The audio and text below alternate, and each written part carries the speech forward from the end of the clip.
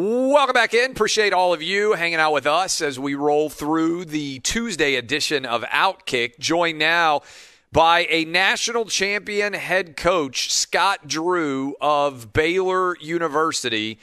And does that get old to hear? And did you really ever believe you would hear it? I know what you said. Does it still feel a little bit uh, like a surreal universe that you hear that now, coach? Well, it's only been about two weeks, but I could get used to this. So yeah, I love hearing that, and it's a great it's a great honor and recognition for uh, the players and what they were able to achieve. And as a coach, it's kind of like a parent on Christmas Day when you see your kids opening up a present, everybody's excited, you're happy, and uh, to see all Baylor Nation, uh, Central Texas, Waco, uh, the state of Texas, only our second basketball championship. The last one they did a movie on in 1966. So uh, exciting time in Texas right now. Okay, so I want to take you back before we go to the national championship game. When you took over in 2003, we came on the day after you win the championship and say, this is not just a remarkable story for basketball. This is one of the all time accomplishments. I'm trying to do it off the top of my head. I knew all the data. Uh-huh. You'll probably know them better than me. I think since 1950, Baylor had been to the NCAA tournament once in 1988. Uh, when you yeah. took over, you were on probation. Uh, obviously, uh, many people know uh, about the uh, the awful incident, the murder that was involved in Baylor basketball. Did you, when you took over in 2003, and I think it took you four years to get to a winning record? Did you mm-hmm. ever have doubts and think maybe this is not going to work? Take me back to 2003, 2004, 2005, 2006, before everything really starts to get rolling and you start mm-hmm. at least making the NCAA tournament? Yeah, great question. So I can equate this to anyone that's opened a new business or restaurant and you are so busy in the beginning doing what you're doing, you're really not you don't have time to get too frustrated or upset because you you're, you're moving on to the next issue or the next problem. So with us, we get to campus and we only have between five and seven scholarship players throughout the year because academically we had some guys out at different times. So the first thing we had to do was go all over campus and try to find at least a half half a team full of walk-ons that can fill our roster. Now, talk about a great deal. Not only could you walk on, but you actually could play. So I mean that that that was pretty good. So we have our opening tryout. We have a lot of people show up. And and you know what? We walked out of the gym. We're like, dang, there's some good looking athletes. We got some height. We call everyone over and we ask, all right, so where, what year are you at Baylor? Where do you live? And all of a sudden, a hand goes up and says, wait a minute, you got to go to school at Baylor to be on the team. We're like, yeah. So so hence people that drove down from Dallas, from the junior colleges, and all over Central Texas, thinking they could be on the team without going to school. Most of them left. We were left with what's normal, the six foot walk on, and uh, uh, we we filled out our roster that way. That year we actually won three conference games, did not finish last, so it was a it was a blessing. And then the next year was really tough. It was more the rebuilding year because it was too late to bring in any recruits because when we took over, most of them had already committed. And then the third year was when the NCAA actually took away our non-conference schedule. So that was when the penalties all came down. So we just played a regular season. We're the only school to ever do that, by the way. Yeah, so if anyone wild. ever's in that, yeah, yeah, I looked at your at your coaching record and I was like, "What in the yeah. world happened that year?" I had to go back and research it that you only played conference basketball. Yeah, so so if anyone's ever in that situation, we're the only ones with uh, experience, so we can help you with that. But I can tell you what was so hard with that is imagine practicing all the way from August until January, basically. And then when you play, you're expecting to have this success, and then you're terrible because it's kind of like a freeway. You know, in Texas, speed limit 75, everybody's zooming, and now you're getting on the ramp at conference play and you're going yeah. 40, 50, 60 trying to catch up. So that was a tough year. And then the the, the next year, uh, what's what's what's amazing, five years later you make the NCAA tournament, and that was the story in itself because we were the last team called. So we had a big uh, celebration party. The Ferrell Center's packed on the floor. So we got all these people here, and we get through the whole bracket, and they're down to one team to be called. And I never, in my wildest dreams, thought we weren't going to be called because uh, uh, Joe Lunardi said we were in. You know, and if he says yeah. you're in, you're in, right? Yeah. So Joey Brackett says we're good, and all of a sudden you're thinking, if they don't call us, what are we telling everybody? And then we're the last name called. The place erupts we get in the NCAA tournament, then we go to two Elite Eights, 2010, 2012, and God's plan's always perfect because I'd have had us go to the Final Four then, but you know, then you don't appreciate it as much, and you know, and you and you don't realize what a blessing it is when you do make it to a Final Four, and then obviously we won the national championship this year. What does it feel like to lose an Elite Eight game? Well, not only is it tough to lose, but then you got to watch that team cut down nets, celebrate. And in both instances for us, Duke ended up winning the national championship in 2010 and Kentucky won it in 2012. So you're sitting there thinking, man, we could have won a national championship. And, right. And that, that, that, that, and, and, and when you get like you make it to the Sweet 16, you have a full week to enjoy it, and you get a lot of media attention. When you make it to the Final Four, you have a full week to enjoy it and a lot of media attention. So losing the Elite Eight is really hard because you know most most most college coaches their goal and dream is always to be in the Final Four. Most players their dream is to be in a Final Four, to be that close and not get there. And that's why when we got there this year, it was that much more of a a blessing because our staff realized how hard it is to get there. When did you start to realize and make recruits aware of Baylor as a viable option? So I know you you mentioned early on you're not even able you get the probation you're not able to play an out of conference. When was was there a moment when you went into a home or you talked to some recruits and you started thinking, okay, we're starting to get a little bit of momentum. People know that we're a player on a relatively high level. Was there a moment like where it kind of shifted for you? Because you talked about it's like starting mm-hmm. a business and it's so hard initially because and, and there are a lot of people I'm sure listening to us who know what that's like because there's so many things that you're trying to fix simultaneously that you don't really have the time mm-hmm. to be like, hey, here's my five year plan, here's my three year plan. Right. You're like, I just got to get through uh-huh. today. I got to get through this week. Uh, when do, when do you start being able to plan and build and think, okay, we're starting to get a little bit of a foundation and recruits are becoming aware of us?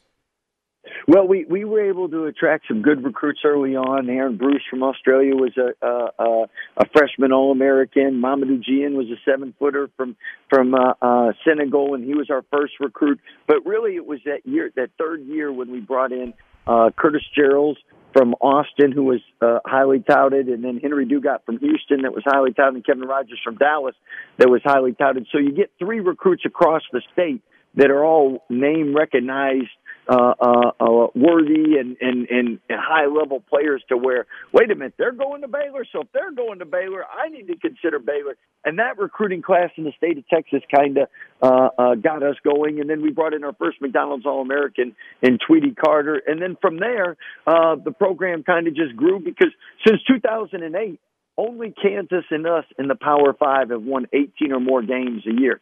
And in the last five years, only us Kansas, Duke, and Gonzaga have been ranked in the top, uh, have been ranked number one three of the last five seasons or more. So we've we've had success since 2008. We've had elite success uh, in the last couple of years, and we're the winningest team in the Power Five in the last two years. Uh, a lot of success, and obviously COVID didn't allow us to have a chance to go to a Final Four last year or play in the NCAA tournament, which made everybody appreciate it that much more this year. You won the national championship this year would you consider this to be your best coaching job, or do you think one of those other years where you didn't have the same success at the end of the season was your mm-hmm. best coaching job? That's another great question. What, what I would tell you is we ask our players to improve every year, and I, I'm hoping our coaching staff does the same thing. So hopefully I'm better now than I was several years ago, and hopefully next year I'm better than I was this year. So uh, I don't know if that's true or not, but that's the goal. If you could go back to 2003 and talk to yourself, what do you think you know to that extent? You're getting a little bit better, hopefully, every year at what you do. And I imagine a lot of people out there listening to us right now try to do that in their own profession.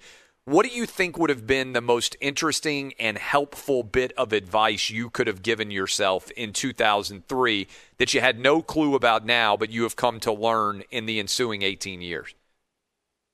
Man, you're, you're asking some deep questions today. I would probably, first of all, first of all, I would have probably said enjoy having hair because it's going to come out real quick in the next couple of years. So that's number yeah. one. All right. Uh, uh, the, the the other thing is, uh, uh, um, the, as, as we get older, life really speeds up, and and I would I, I looking back, I wish I'd uh, spent a little more time with with my kids when they were little, to be honest. And yeah. you spend so much time working and you spend so much time trying to build a program. And next thing you know, um, I got a 17 year old, a 13 year old, and a 10 year old. My wife's done an amazing job uh, uh, because she's been there most of the time when I've been traveling and gone. But uh, probably probably enjoy that time a little bit more. And I'd have probably scheduled a little bigger break during Christmas time so that you could spend a little more time with the family. Uh, that that that's something. How, I mean, that's that's good advice. I think for a lot of people with young kids. In fact, I'm coaching uh, and have been coaching a lot with kids, and it's interesting because as you get older, the college kids seem younger, right? I'm sure when you started coaching in 2003, you felt a little bit more like a contemporary to them. Now you just said you got a 17 year old. I'm sure you look at them very much as your own kids, and so I'm curious from a coaching perspective Bas- college basketball season is extremely long. This year with COVID, mm-hmm. it was even more crazy than it ordinarily would be. How do you balance out when to go hard on them, when to go soft on them? And in particular, when you were dealing with the COVID shutdown you guys had and you had to miss some games, mm-hmm. and then you came back and you weren't necessarily playing at your peak level, how do you hit the right note to get them playing at a peak level by the time the tournament comes around?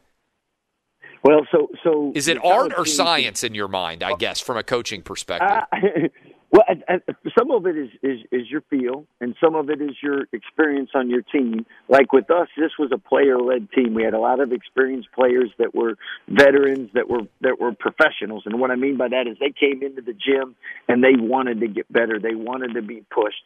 Other times you have a, a more inexperienced team that are more your freshmen and sophomores, and and there you tend to have less consistency, so you have more ups and downs, and there you gotta you gotta keep them fresher because the grind of the season will wear them out a lot quicker than a than a 22, 23 year old who's used to it. Uh, so with with with with us, I, I can tell you that uh, I'm energetic. Our staff's energetic. We want it to when you come into the gym, you're excited to be in the gym. Not oh gosh, I got to get I got to get uh, uh, uh, yelled at for the next two or three hours today. We want guys that want to come in the gym, they want to get better, and at the same time, we try to make it fun because we spend most of our time with them in the gym. So, uh, as far as when you're hard on them, when you're not, I think it's it's a consistency they want, and um, with us, I mean, when they when they screw up, we're going to hold them accountable, but it's not a demeaning thing. It's a corrective thing that they should want to get better. And the accountability part's really more than anything because with this generation, it's not telling them what you know, it's telling them why they need to know it. Because if they understand the importance of it, they're going to do it 100%. And sometimes as coaches, we just think you tell them to do this and they got to do this without explaining why they got to do it. So we're constantly trying to remind ourselves to explain the why so they can buy in with it. We're talking to Baylor men's basketball coach uh, Scott Drew, now a national champion coach last year when suddenly the rug gets pulled out from underneath your team. You had a really good team last year, too. What did that feel like for your team when suddenly the NCAA tournament is no more?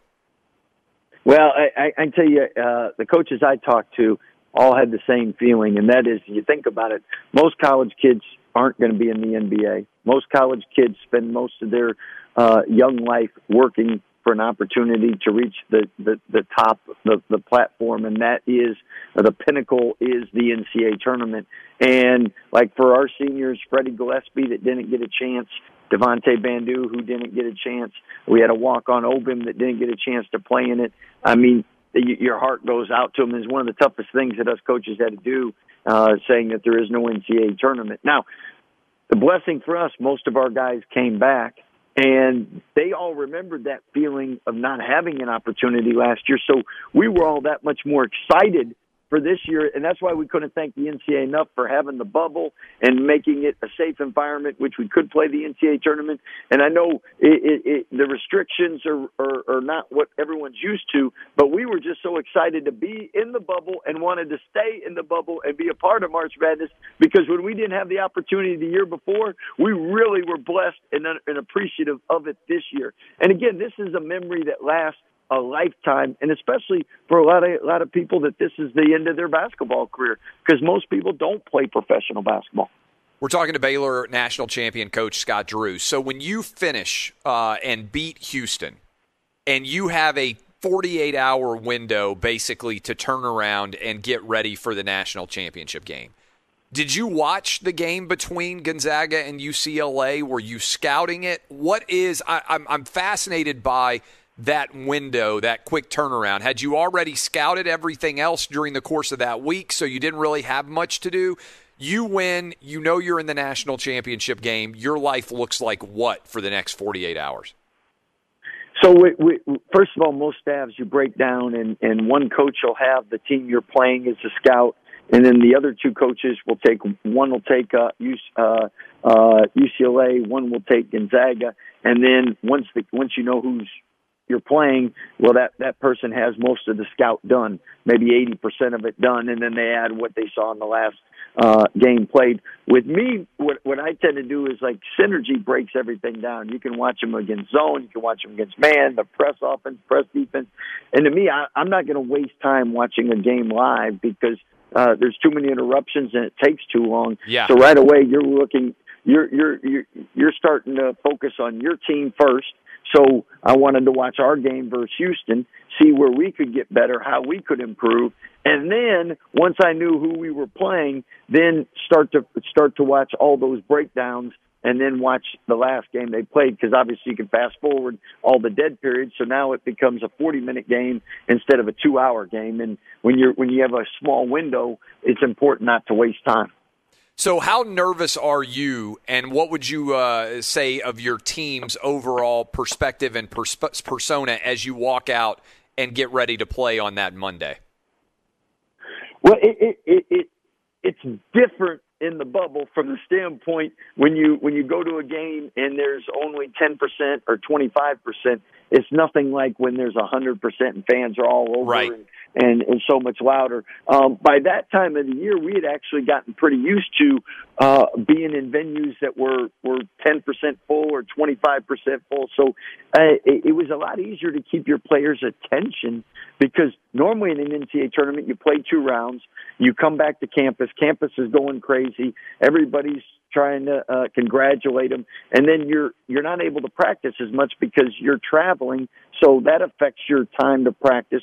Where when you're in the bubble, I mean, you you come back and how you celebrate it, you go to the team room with the with with your team. So it's real simple. You eat, you get up the next day, you watch some film, you get ready for practice, and you can you can really uh, uh, uh, keep their attention and you're able to really do a lot more. So uh, you're you're not overwhelmed by the national championship game as you might be, I guess, in a normal situation with us. Uh, we we had, we had, we were set to play Gonzaga on December 5th. Had so much respect for Coach Few and his team, and then that game got uh, uh, uh, canceled. And as we were disappointed at that time because it was one verse two, but you know what? God had a better plan. He said, "We ain't going to do this on December fifth. We're going to do this on April fifth. And Coach Few and I agreed. We said, if we meet back here and make this game on April fifth, we are good with that. And and that's what that's what ended up happening. And they had an unbelievable season. And uh, Coach Few's a Hall of Fame coach, does a tremendous job. Uh, but I know I, I know we had a bunch of guys that are competitors and they want to play against the best. So they were excited to play against Gonzaga how did you i know you celebrated with your team you're in indianapolis. I saw the footage of everything that happened on baylor. I guess they were out on the football field storming the football field and everything else mm-hmm. having an incredible time watching you guys play. What was it like to finally return to campus having won the national championship? As you mentioned you guys were in the bubble at indianapolis. And what has it been like in the state of texas since you returned so, so the game finishes. We're able to see our, our, our families, and that that was such a blessing because for the last three, four weeks we hadn't been able to since we got to Indianapolis, and actually in the Big 12 tournament we were in a bubble, so not able to give hugs and and and see our little ones. But uh, once once the game was over, you spent time with family, and after about three, four in the morning, you go back to your hotel room, and then you got your thousand plus text messages, and right away you start to try to answer those, and then the next thing is you got the morning shows. So why would you fall asleep for 30 minutes or an hour? You know, you haven't pulled an all-nighter since you were 30 years ago in college, so you might as well stay awake now. So then, then you uh, uh, finish that in, in the morning shows, and then you leave to come back. You land. There's a big gathering at the airport for you. You're excited about that. You go home. You crash that night, and then uh, and then and then ever since then, you get up and uh, you have opportunities to talk to uh, great people like uh, uh, you and your show and everybody else uh, uh, across America and, and brag about your guys. And it doesn't get much better than that because uh, what they achieved this year is is remarkable and special. First championship uh, uh, uh, in Baylor history, and like you said, first Big 12 championship since 1950, first Final Four since uh, uh, 1950 as well. Baylor men's basketball coach, national champion Scott Drew. I know how busy you have been, coach. I appreciate you coming on with us early this morning, and we look forward to talking to you again somewhere down the line. Sounds great. Take care. Thank you for all you do. Thanks a lot. That is Baylor national champion men's basketball coach Scott Drew.